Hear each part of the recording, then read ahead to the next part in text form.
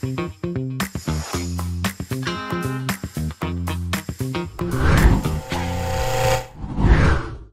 back to NIXI Insider. Ever wonder what makes your internet experience faster and smoother? Well, we're going to talk about that today. And the huge role is played by IXPs or Internet Exchange Points. Welcome back, Pankaj. Let's just dive into it. So, what is IXP and how does it play such a huge role in this whole process? So internet exchange points are like uh, you know it's it's like a crossroad where networks come and meet with each other and then they enable the exchange of data. Uh, without internet exchanges, um, the data will take indirect long routes, making uh, you know making the access of that data slow, slower. Uh, if you remember, you know we used to have those buffering circles, and the video would Right, take forever to load. That was simply because we did not have those internet exchanges in the country, and data would hop on to probably multiple countries, and then it will come to you. Uh, internet exchanges uh, completely, uh, you know, completely do away with that setup.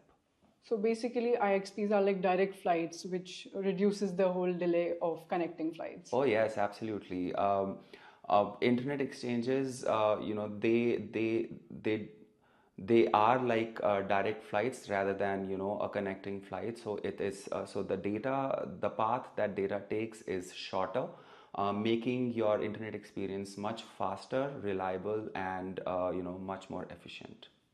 Okay, so what's peering? Uh, how does it help with the whole process?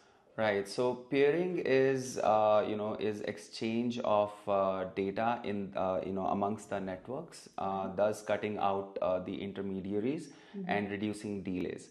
Uh, peering is where, uh, you know, is is why the internet becomes through an internet exchange, it becomes more reliable and more efficient um, uh, you know, uh, the more the networks uh, that are that peer with each other, the more networks that come together and peer with each other, uh, the more the network becomes or the internet becomes, uh, you know, smoother uh, and faster.